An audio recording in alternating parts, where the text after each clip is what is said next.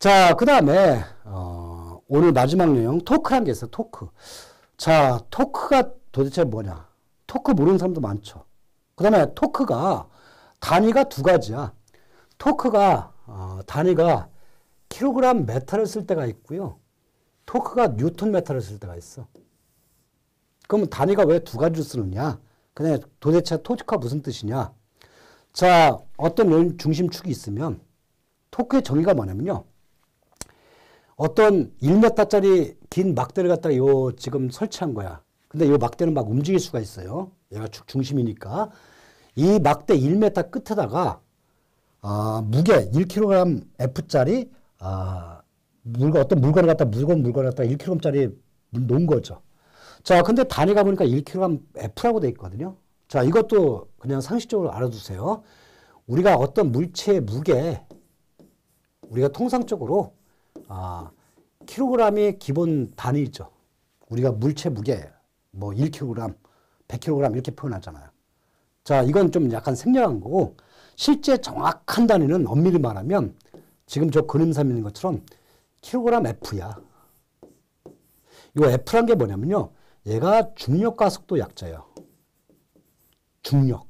중력이란 뜻이야. 즉 정확하게 무게를 갖다 표현하려면 1kg F 이런 식으로 표현해야죠. 왜냐?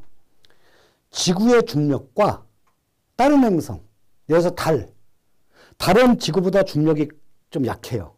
그러면 지구에서 잰 1kg이란 게 달에서 쟀을 때 1kg 같느냐? 같지는 않단 말이야. 좀 가볍게 잰 측정이 된단 말이에요. 즉 엄밀히 표현하는 물체 무게는 지구에서 잰 물체 무게라고 해서 우리가 킬로그램 F라고 표시해 줘야 돼. 엄밀히 말하면. 근데 우리가 공학, 우리가 거의 모든 공학에 대한 어떤 단위 같은 게 물체 무게, 지구에서 무게를 재는 거지 우리가 달에 가서 재지는 않단 말이야. 그죠? 그러니까 기본 상식이란 말이야. 그러면 우리가 보통, 아, 1kg F라고 보통 표시하는 게 가장 정확한 표현이긴 하나. 어차피 우리가 무게를 잴 때는 지구 중력을 갖다 기준 잡아서 하는 거니까 이걸 갖다가 우리가 약 1kg이라고 해서 F를 갖다 생략하는 거죠. 근데 정확한 거는 킬로그램이 아니고 1kg F가 맞는 거예요, 사실은. 자, 그러면 생각해 보세요. 여기 축이 있고 막대 1m짜리 놓고 여기다가 1kg F짜리 무게를 갖다가 무게를 갖다 달았단 말이야. 그럼 이게 무거우니까 이제 중력의 힘을 받을 거 아니야. 그럼 어떻게 돼요? 여기가 축중심으로 해서 이렇게 회전력이 생기겠지. 그래서 이 무게는 이제 이 물체는 이렇게 막 움직인단 말이야.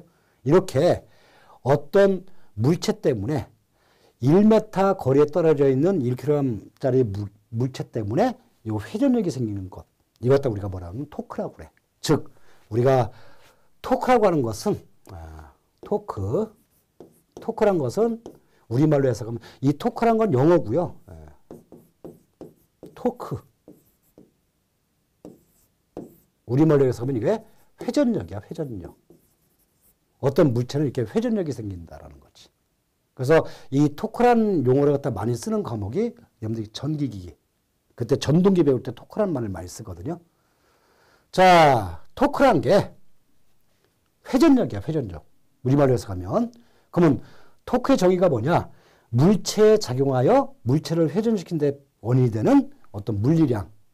그러면 지금 토크 잴 때 1m 길이에서 1kg F짜리 물체 무게를 갖다 연결해서 이 회전력을 측정하는 거니까 우리가 표현하면 1kg나 F에 1m를 곱해줘야겠죠.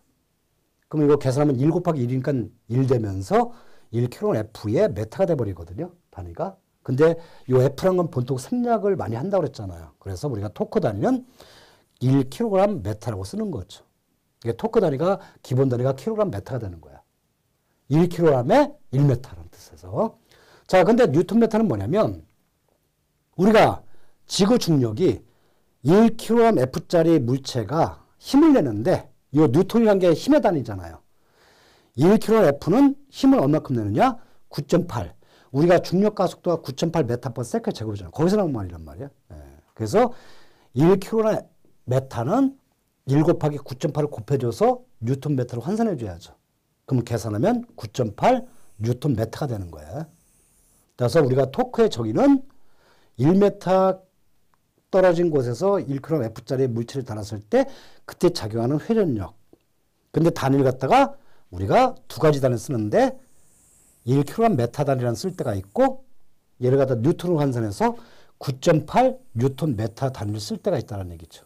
즉, 요 지금 우리가 토크란 것이 어, 토크란 것이 1kg 메타는 환산하게 되면 어, 9.8 아, 뉴턴 메타로 우리가 환산이 가능하다는 얘기예요.